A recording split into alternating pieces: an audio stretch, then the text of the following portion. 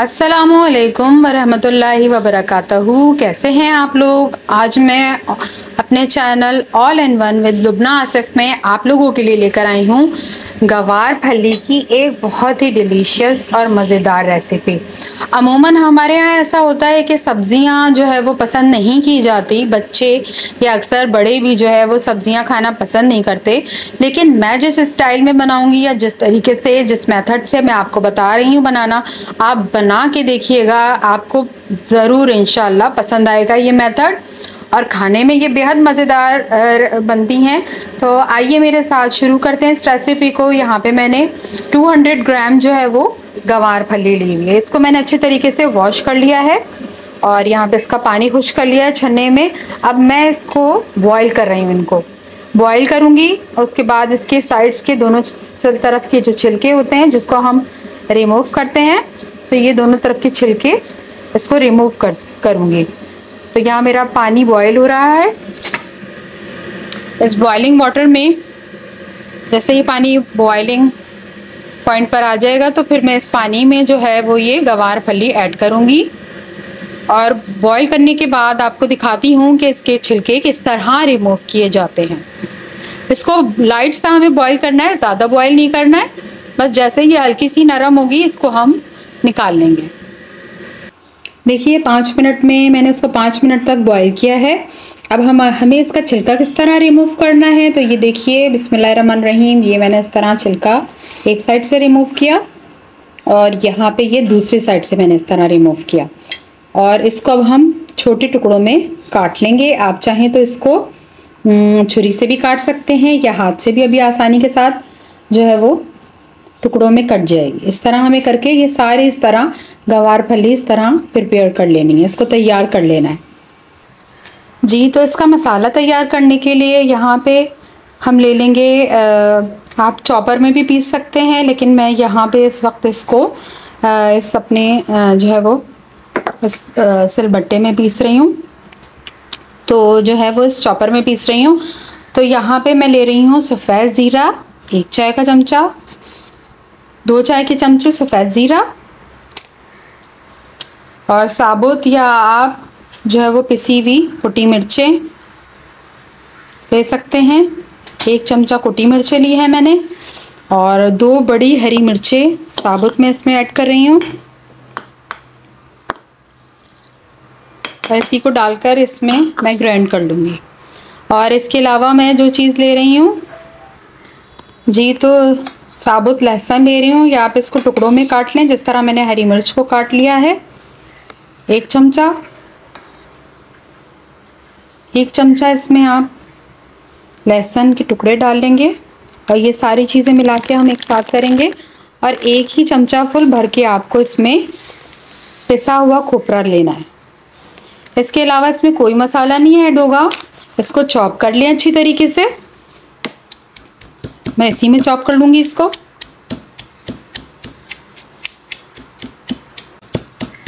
ये सारे मसालों को हमें अच्छी तरीके से मैं चॉप कर लेना। जी तो यहाँ पे मैंने कढ़ाई रख दी है गरम होने के लिए हल्के फ्लेम पर। और यहाँ one tablespoon of oil use कर रही हूँ। मैंने one tablespoon of oil लिया है। और जो मसाला मैंने आपके सामने चॉपर में किया था, आप चॉपर में करेंगे तो ये और ज़्यादा जो है वो स्मूथली जो वो चॉप होगा, लेकिन इसमें थोड़ा रफली हुआ है। तो रहीम ये इसमें हम ऐड करते हैं। रहीम बहुत अच्छी, मज़ेदार और ज़बरदस्त किस्म की सब्ज़ी तैयार होगी। बहुत डिफरेंट और यूनिक स्टाइल की है। इंशाल्लाह आपको बहुत पसंद आएगी। इस तरीके से बना के देखिएगा।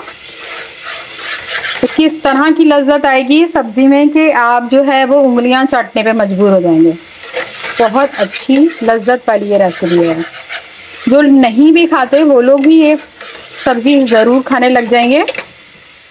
और स्पेशली बच्चे अमूमन हमारे यहाँ सब्ज़ियाँ नहीं खाते तो आई एम श्योर कि वो भी इंशाल्लाह ज़रूर पसंद करेंगे। बिल्कुल इसी स्टाइल से, खूब अच्छे तरीके से आप बनाइएगा।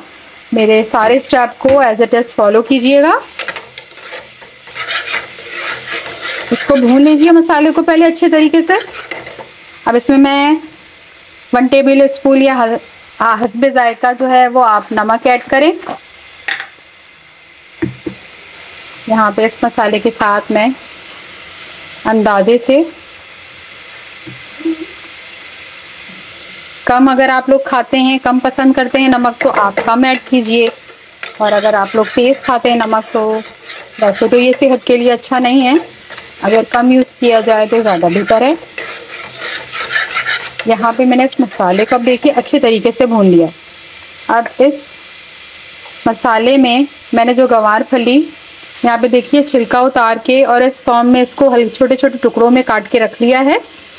तो अब हम जो है वो इसको गवार फली को जो हमने हल्की सी बॉईल कर ली थी, इसमें ऐड कर लेंगे।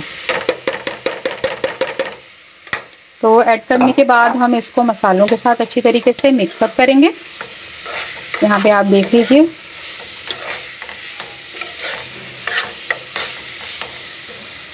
थोड़ा सा पानी लेंगे हम, थोड़ा सा पानी डालेंगे इसमें। थोड़ा सा पानी ऐड करने के बाद मैं ढक्कन ढक के रख दूँगी इसको। और तकरीबन 10 मिनट के लिए इसको छोड़ दूँगी, ताकि जो भी इसमें थोड़ी बहुत जो है वो कसर रह गई है, वो पूरी हो जाए। ज़रूर बना के देखिएगा ये रेसिपी इंशाल्लाह आपको ज़रूर पसंद आएगी। यहाँ पे मैंने इसको कवर करके रख दिया है। तकरीबन 10 मिनट के लिए 10 मिनट के बाद मैं आपको इस डिश को डिश आउट करके बताती हूँ, दिखाती हूँ। यहाँ पर देखिए कि ये मेरी डिश रेडी होने वाली है, जो भी थोड़ा बहुत इसमें पानी रह गया है, वो मैं इसमें भून कर इसको खुश कर रही हूँ। और इतनी अच्छी और ज़बरदस्त खुशबू इसमें से उठ रही है और मेरी भूख में इजाफ़ा कर रही है। बहुत ज़बरदस्त ये रेसिपी है। ज़रूर ट्राई कीजिएगा, बहुत डिफरेंट और यूनिक रेसिपी है। इन आप लोगों को ज़रूर पसंद आएगी। तो कमेंट करके और लाइक करके मुझे बताइए कि मेरी रेसिपीज़ आपको कैसी लग रही है। इससे मुझे मोटिवेशन मिलेगी और इन मैं इसी तरह की और अच्छी और ज़बरदस्त और डिफरेंट और यूनिक रेसिपीज़ आप लोगों के लिए लाती रहूँगी। यहाँ पे मैं आपको डिश आउट करके दिखा दूँ। बसमान रहीम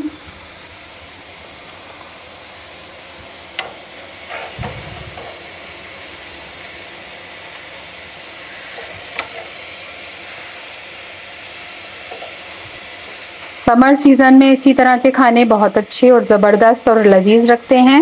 इसको रोटी की सर्विंग के साथ आप लोग खाइए और इन्जॉय कीजिए। कैसी लगी आप लोगों को मेरी रेसिपी ज़रूर बताइएगा। दुआ में याद रखिए। इन फिर किसी और वीडियो में मुलाकात होगी। अल्लाह हाफिज़।